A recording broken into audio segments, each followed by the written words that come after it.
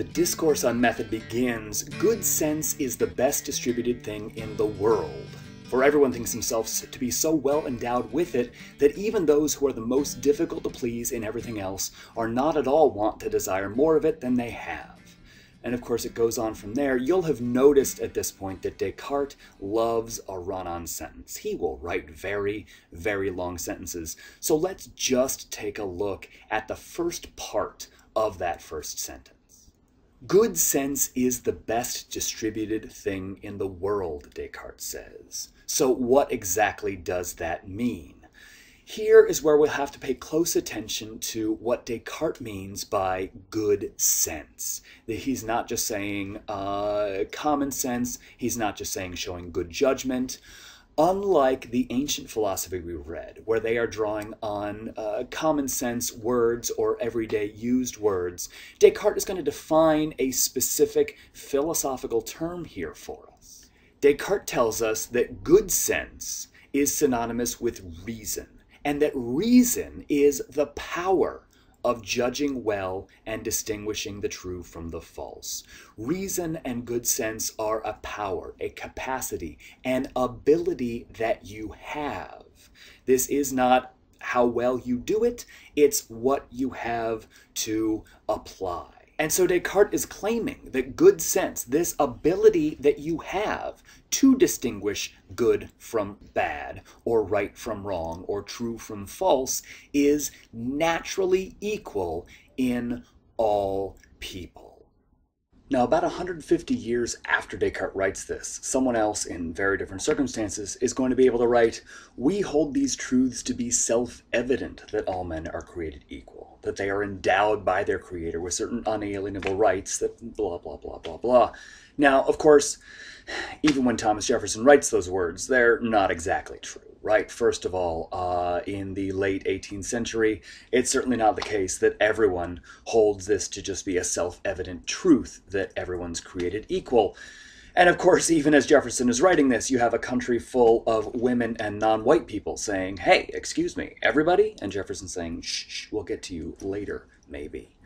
But at least Jefferson can get away with this rhetorical flourish, right? We, uh, as in the people who count as us, we hold these truths to be just self evident. I'm not going to bother explaining to you or arguing with you or trying to show you that all people are equal.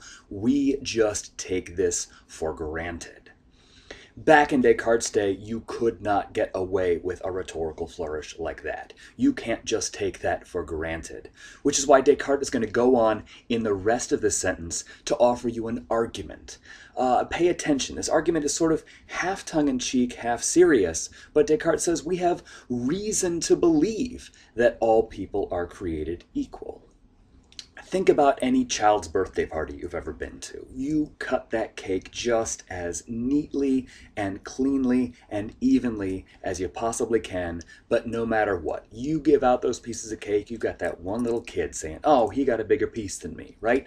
We are never easy to please in things that get distributed. There's always someone who thinks, Oh, I want more, or Oh, I got too much. Think about height or strength or beauty or etc., etc., etc. And yet, Descartes says uh, good sense is not one of these things. Everyone thinks that they've got a, a pretty good above average amount of good sense. Now, of course, we've got a bit of a problem because it's obvious to you, it's obvious to me, it's obvious to most people that there are just some real idiots out there and this is just it. Uh, if you go and you talk to one of those idiots, you can say, hey, listen, uh, there are some real idiots in the world, right? They're going to say, oh, yeah, there are some real idiots in the world. And you can ask, are you one of those idiots? And they'll say, no, no, no, me, I'm, I'm about average, right? And I find it actually works in the opposite direction as well. Pick someone who is an absolute genius. Find a genius in the world and ask them, hey, there are some real geniuses in the world, aren't there? And they'll say, oh, yes, there really are. And you'll ask, are you one of those geniuses? And they'll say, nah, me, I'm, I'm about average, right? But if Descartes is going to claim that we all have an equal amount of good sense, then this issue of those idiots out there is going to have to be explained. In other words, why is it then that it just seems to us like some people are smarter than others?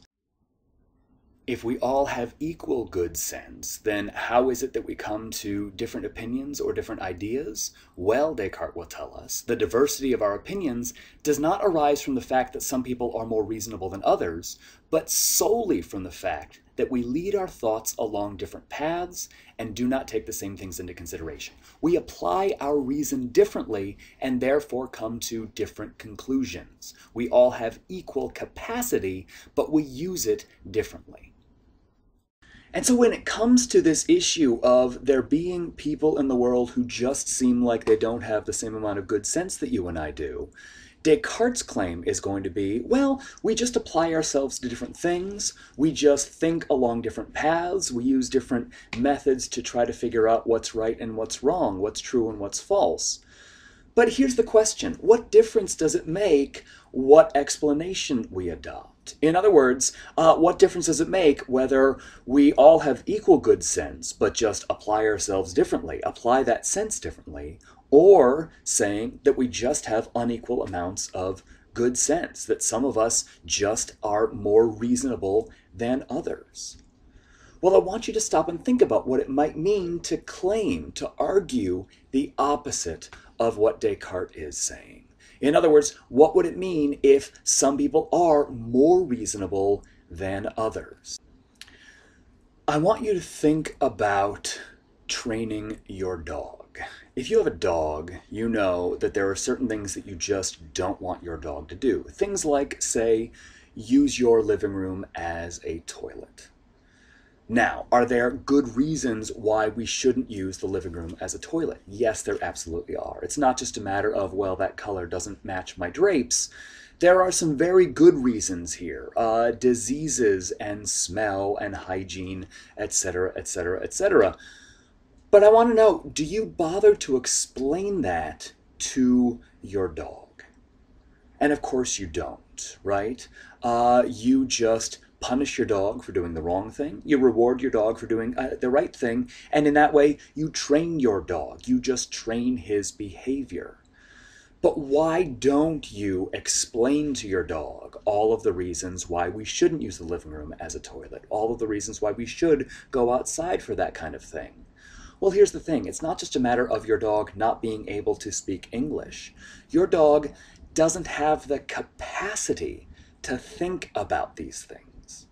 And if your dog doesn't have the capacity to understand these things, it's not just that he doesn't happen to, it's that he can't. In that sense, there's really nothing for you to do except punish him when he steps out of line, reward the correct behavior, and make sure you have him trained. In 1634, three years before Descartes writes this book, Galileo got hauled in front of the Spanish Inquisition.